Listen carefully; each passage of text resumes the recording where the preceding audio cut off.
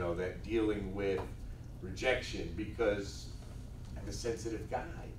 And uh, I had a tough time separating their no uh, to the hotel I was representing, other than they were just saying no to me. But over time, I, uh, I, I knew if they weren't saying no, if they were saying no to me, then I was doing my job. I was doing my job. And I did sales for a couple of years and, and I had some success with it. Now, um, but I had learned about just really one facet of the hotel business. And I, um, I, I wanted to understand more about the business. And so I then took a job with the same hotel group, and it was a, hotel chain owned by a lady by the name of Leona Helmsley, who none of you have heard of, but in the uh, late 70s and 80s and early 90s, she was arguably the most recognizable face in the hospitality industry. And I worked for her. And I took a job as the night manager of one of her hotels. So I was 23 years old and I was in charge from 11 at night till 7 in the morning of a 300 room hotel on Central Park South with a couple of restaurants. And uh, I learned a lot about the business doing that. So, you know, one of the jobs that, you know, you can get while you're still in school is a position called a night auditor. And I don't know if you're familiar with that title, but the night auditor is akin to uh, the night manager. You're running that hotel during the graveyard shift, but you'll learn so much about the business. You'll learn a little bit about the financials, you'll learn a little bit about customer service because you're dealing with every guest. You may have to supervise a small staff, and it's an ideal way to really get a vibe for is this something I want to do? And after doing that for a couple years, it was something I wanted to do. And um, I applied for another job while I had this job. And they were building this hotel in New York, and it was, again, uh, it had been in all the trade publications, and it was a hotel that Marriott was building, and it was going to be their flagship hotel. It's a hotel called the Marriott Marquis, and it's right in Times Square.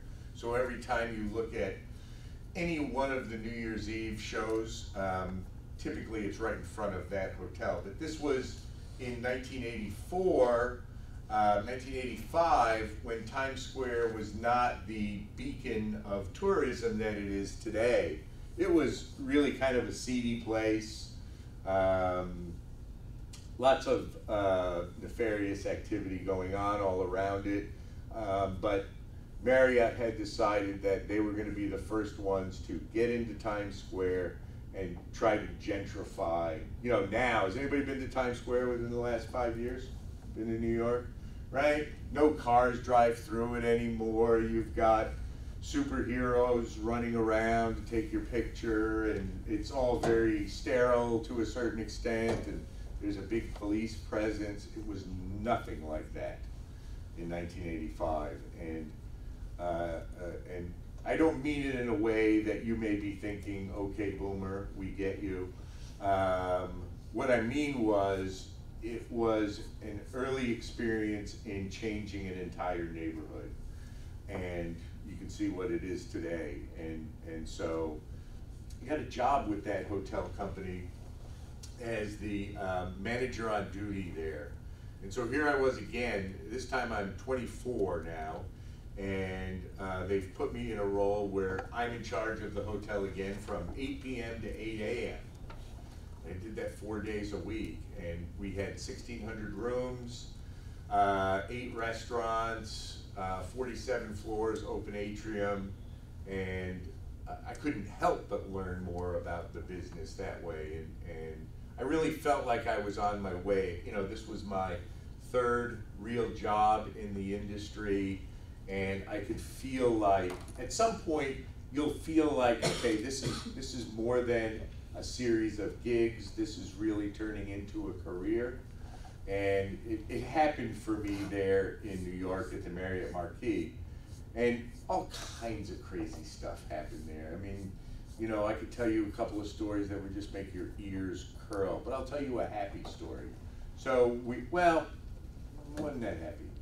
So uh, one of the mistakes they made when they built this hotel, I told you 1,600 rooms, it only had 250 parking spaces. Right? So we used to charge an arm and a leg for parking in 1984, 5. I think we were charging $50 for overnight parking, right? Um, but there were only 250 spaces. There were other parking lots. So if a car had sat there for more than five days with no activity, we would call the owner and say, hey, just to remind you, uh, if it was somebody who wasn't in house because, um, or they had checked out. So we have a car. I shared an office with the parking garage manager. And so it was about 11 o'clock at night, and I get a call. He says, Hey, Frank, we've got a car down here that's been down here for a week, and we can't track down the owner, and um, so we're going to tow it, which is what we did. So I said, okay, you guys get the paperwork ready, and I'll come down and sign off on it. And we would let the police know that we were doing this, so they had a record of it, so that if a guy showed up, he didn't think it was stolen. So uh, I get down there, and the cops are there, and there's the my friend, the parking garage manager, and he's got the paperwork, and I'm signing it, and I say to him, I said, have you opened up the car to see? Um, so he opens up the trunk, and in the back of the trunk, and I kid you not, guys, because I can still see this now, there are six or seven big lawn leaf garbage bags filled with cash. 20s, 10s, hundreds, and I just looked at the parking garage manager and I said, we'll talk in the office. And, and we got up there and I was like, you know, and the cops took it away.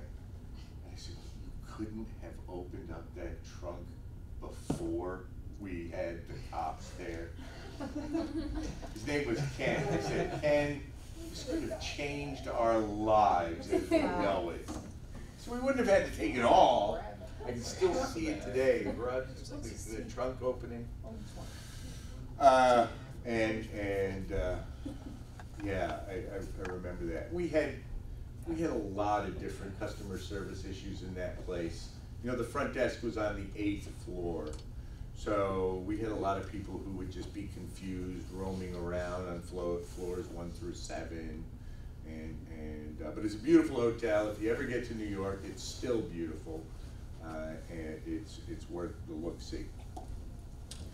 So Marriott moves me to Chicago, and and uh, I know this is all very exciting, but I, I want to tell you this because one of the things you'll have to understand is that if you're in the hotel business and you're working for a bigger company, um, there's a really good chance that you're going to move. It's a highly transient sort of uh, business, meaning that you can do this. First of all, you can do these hospitality jobs anywhere on the planet you choose. That's a good thing. There is always going to be work.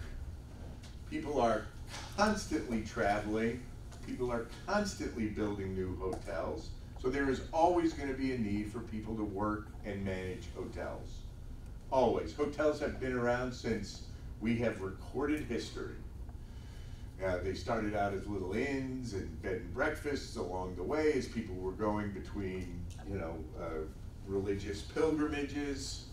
So when you, so when you're filling out applications for a company, I'm going to tell you one thing you need to do, whether you mean it or not. There's always a box that says, "Are you willing to relocate?" And you've maybe seen that box as you've applied for something now. Whether you're willing to relocate or not, I would encourage you to check that box.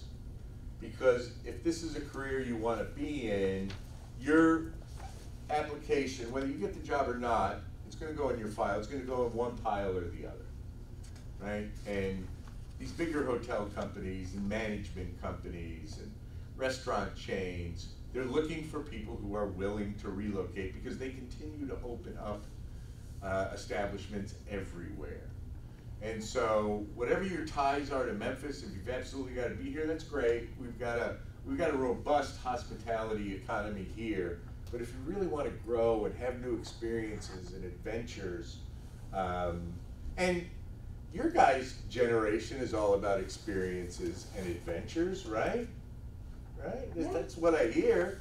You know, you you want to experience and do things. So this is a great business to have those experiences uh, in, in different locations. Not to manage, not to mention all of the different travel discounts that you'll get being affiliated with a hospitality company. Um, uh, we traveled for years, either you know staying at hotels for nothing or for very little, and and uh, took that you take that for granted too. Um, so you know, and you guys have a little bit of an uphill battle to a certain extent because people are saying things about your generation too.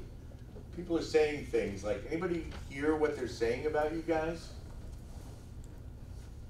That they, how they're uh, lumping you all into one? What do they say?